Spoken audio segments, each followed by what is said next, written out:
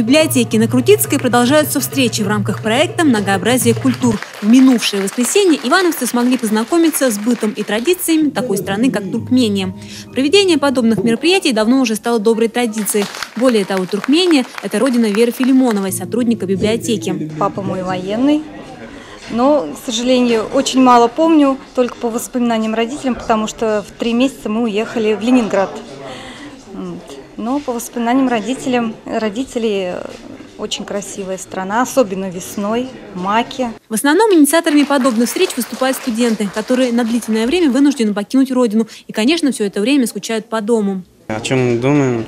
Всегда вот думаем, как, э, когда скучаем, как мы проводили там праздники национальные или государственные праздники, как мы отдыхали там, учился. И об этом мы всегда скучаем.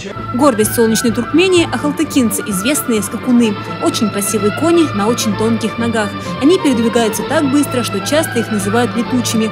Таких лошадей завезли даже в Ивановскую область. Посмотреть на них можно в манеже конно-спортивного клуба села Китово в Шуйском районе.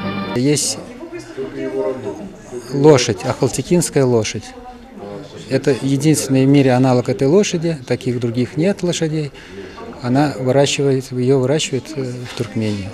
И везде как бы этот ахалтекинец является как бы э, на первом месте.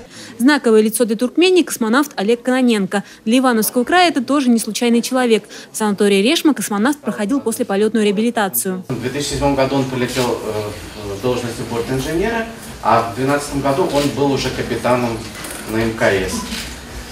Он взял с собой космос вот так, примерно такой ковер. То есть можно сказать, что наш ковер даже в космосе побывал. Для нас в Туркмении этот человек ну, считается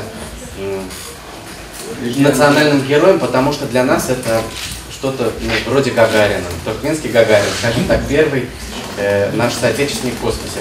Не обошлось в этот день без рассказов об удивительной природе солнечной Туркмении, необычной архитектуре городов. Не забыли организаторы рассказать и про туркменские ковры, символ страны, занесенный в книгу рекордов Гиннесса. Студенты провели даже мастер-класс на родном языке. Воспроизвести речь туркмена россиянам оказалось непросто. Просыпаетесь вы утром, вот маме, например, говорят «доброе утро». Это сложно.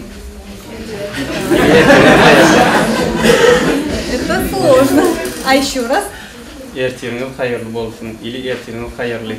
В завершении встречи все желающие смогли познакомиться с туркменской кухней, попробовать манты и плов, отведать сладости из сушеной дыни и кунжута. Любовь Почерникова, Денис Денисов, РТВ Иванова.